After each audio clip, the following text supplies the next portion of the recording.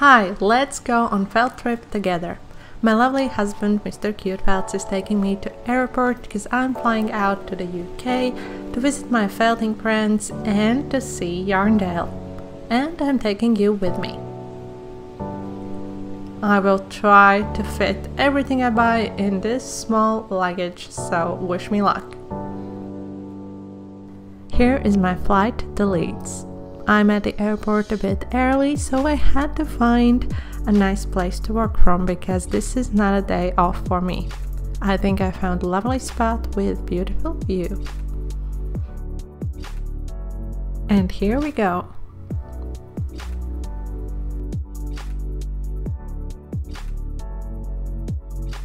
Guess who's one happy felter Yes, I stayed with Philippa, who we all know from her channel, Felts by Philippa, and she's absolutely lovely. I still can't believe I was in this room and I met my little chicken here.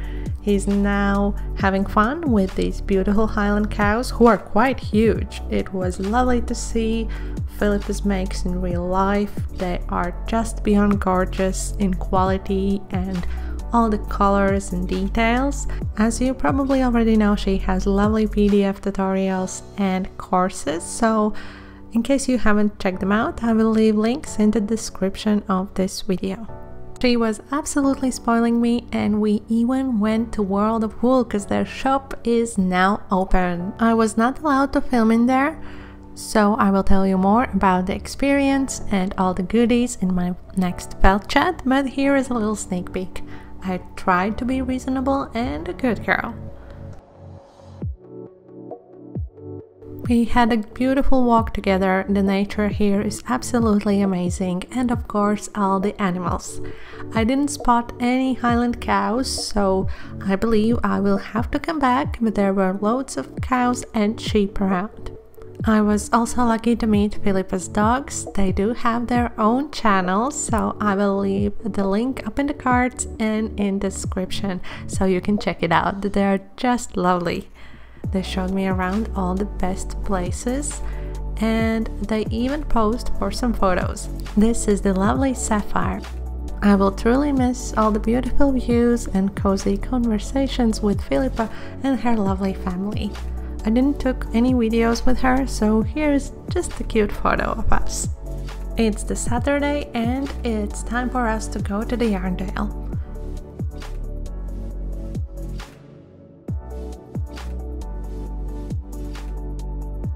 The weather was just amazing and look at all those cute sheep up there. Only now I realize that this is for real. I'm at the Yarndale. Philippa was also making a vlog. I will leave link in cards and description for you. Look at the place. It was absolutely gorgeous. Have you ever seen so many crocheted flags? I'm still thinking about the amount of yarn and work it took. Yarndale is of course a wool festival as you can probably tell and each year they do have special sheep. Here they all are together. My favorite one is this one, but there were loads of crocheted decor all around. This event space is usually used for selling animals, so it was a pretty unusual place for me but everyone had decorated their stalls really pretty. Here is this year's creative project. They have one every year and they are supporting charities.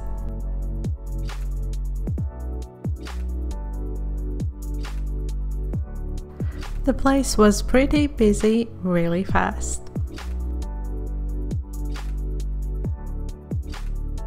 I do not knit or crochet, but it was really hard not to buy all those colorful yarns. It was just a color explosion all around.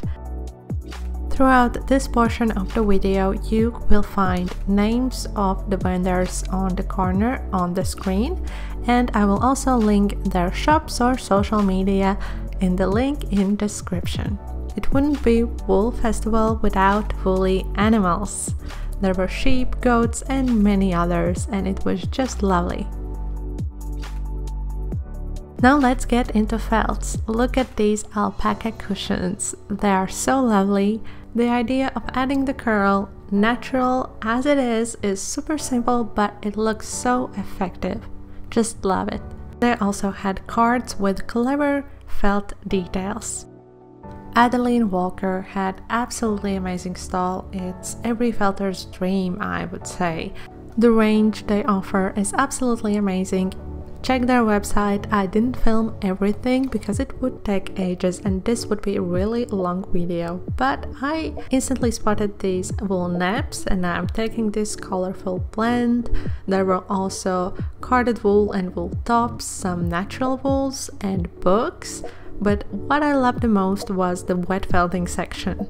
They are carrying these washboards from Heartfelt Silks and I think they are just amazing. They're super high quality, have great protection from the water and the shapes are just amazing. You can get in every little corner and make amazing projects with these tools.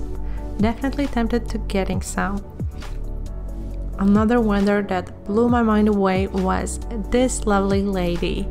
She had the most dreamy blends you could ever want, and of course, the locks. The locks had beautiful pastel colors, and I just got myself some because I couldn't resist. They're just beyond perfect. This vendor had some lovely and clever bags and wedding wreaths. I don't know why. If you know, please explain me in the comments. If you are into wool accessories, Felt by Bridget is the place for you. She is truly lovely and I absolutely adore her hats, brooches and necklaces.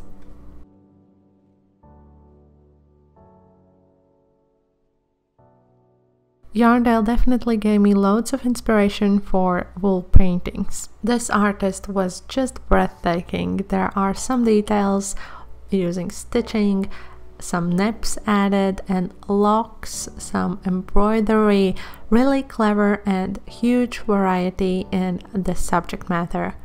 Her style just captivated me so much. Speaking of felt paintings. There were lovely landscape wet felting kits in another stall. They also had needle felting kits for all these lovely animals and what surprised me was the size of the kit. It's not bigger than a book and I believe the mat is not included but I'm not sure. They also do carry wool separately and look at these gorgeous colors. Please let me know in the comments if you know what are these silk cocoons used for. They look lovely but I wasn't sure I would make use of them so I left them there. Besides the felting materials they also had amazing felt art used not only as wool paintings and jewelry boxes but also wool bags that carried some beautiful colored battings and felting kits so you can learn how to create these beautiful paintings yourself. This is the one and only Stop the Fluff. Her setup was just amazing, look at all those kits. She offers wide variety in kits and video classes.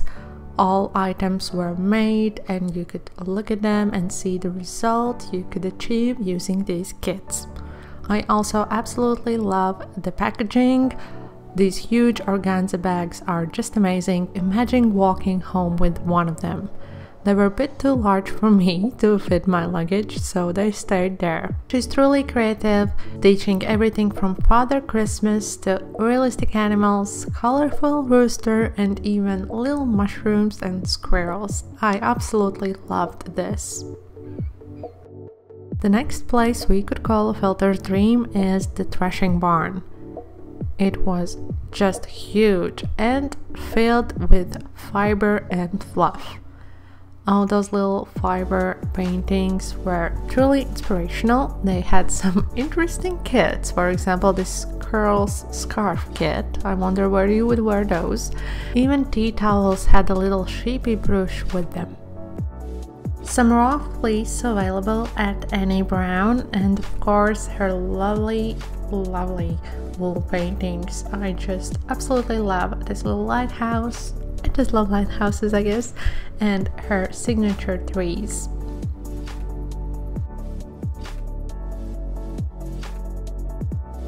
which you were here was absolute jackpot for me because I came to Yarndale looking for those locks. We do not have them available in Latvia and these ones were gorgeous. I maybe took a little bit more than I need, but well, you don't know when the next opportunity comes. And the lady was super sweet and lovely there, she even spoiled me with adding a little bit more.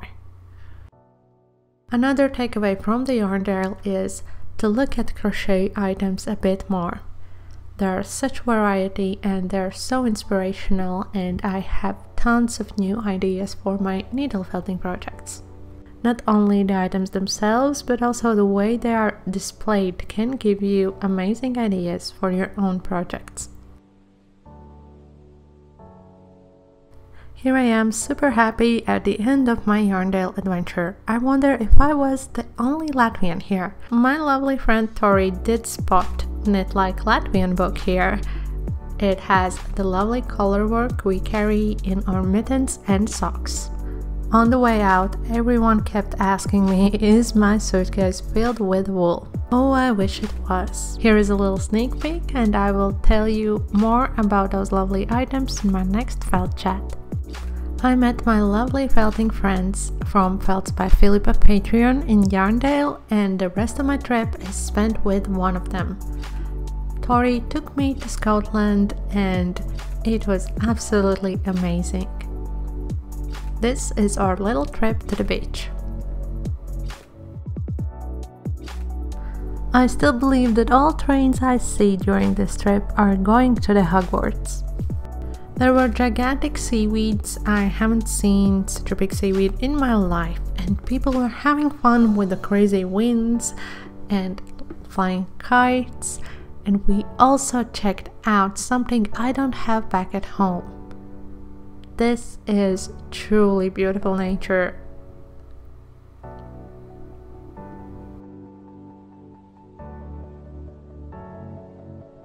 I even took all my courage and went inside, and turns out that birds are living in there.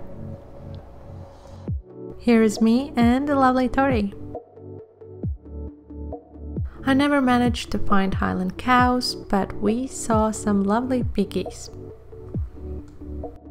I just had to send some cards to my loved ones, and these are cards from Felts by Philippa. Needless to say, they are gorgeous and I was so happy to send them home. On my last day in this trip, we went to St. Andrews, which I will definitely visit again, and treated ourselves with the best ice cream you can find. It was so so delicious and the place is lovely. And of course, we had a little shower in Scotland. It was truly beautiful sunset flight back home. I absolutely loved this little felting trip and I still can't believe it really happened. I forgot to vlog little felting session we had with Tori, but I made this little bear for my husband. He will be finished at home. But now, thank you for watching this video and see you in my next one.